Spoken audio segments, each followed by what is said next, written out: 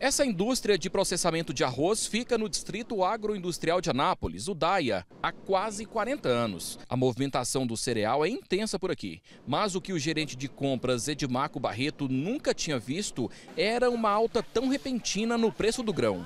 Essa escalada começou em julho do ano passado. A gente pega o preço base de agosto de 130 reais e a gente chegou agora dezembro janeiro com 203 reais.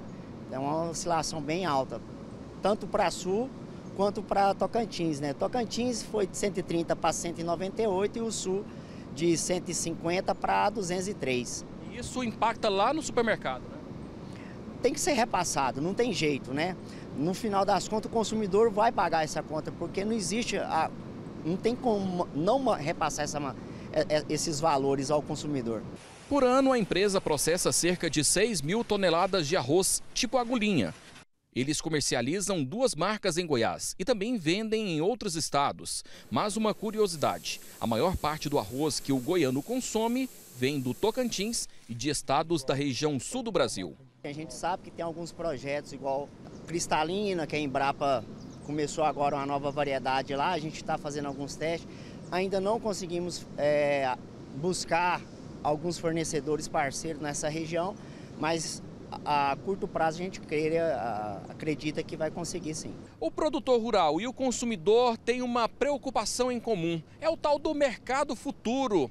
E alguns questionamentos são básicos, como por exemplo, como ficará o mercado futuro, como ficarão os preços, o fenômeno El Ninho pode influenciar nesse valor e também questões climáticas, mercado internacional. O Márcio Dourado, economista, e vai nos ajudar a traduzir aí esse cenário. Já tem alguma projeção?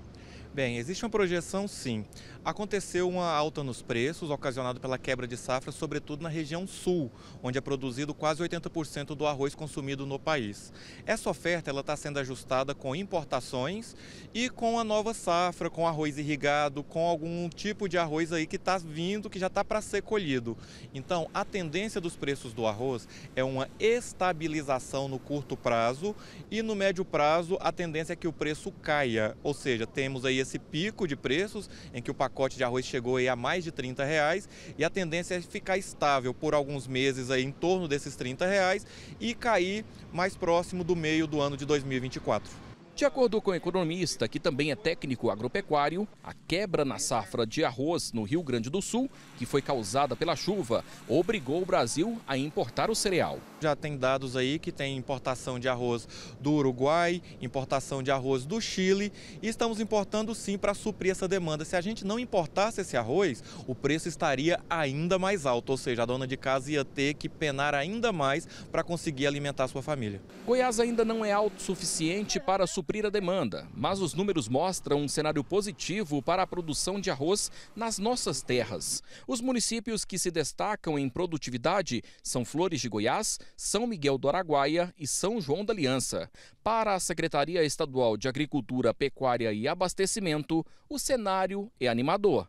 As áreas devem crescer e a produção aumentar. O arroz tem alcançado cada vez mais tem se tornado uma cultura extremamente atrativa para o estado de Goiás, que tem, além de tantas outras características favoráveis, a possibilidade do cultivo do arroz em terras altas e também o arroz irrigado, além de outros tipos de sistemas de produção. Então, com isso, a gente pretende muito em breve consolidar o estado de Goiás como um dos maiores produtores de arroz do Brasil, com a perspectiva de alcançarmos parceiros internacionais.